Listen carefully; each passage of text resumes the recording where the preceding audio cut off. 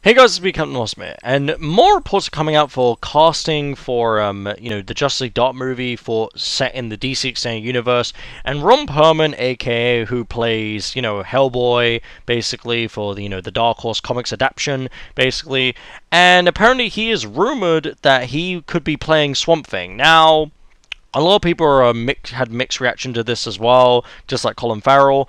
I'm actually okay with it because, you know, Ron Perlman is an absolutely amazing, great actor, especially what he did with Hellboy and other movies, and I could actually see him playing the role and giving it a great personality and just being, you know, just as I said before, freaking badass. So I'll be down for this one. Colin Farrell one's a bit of a, you know, mixed reaction, obviously. I'm not too sure about that one, but we'll have to wait and see, guys. Remember, it's not official, so don't go too crazy, but that doesn't mean we can't discuss it. So yeah, leave a like and comment for your opinions, subscribe for more videos of one, guys, and bye.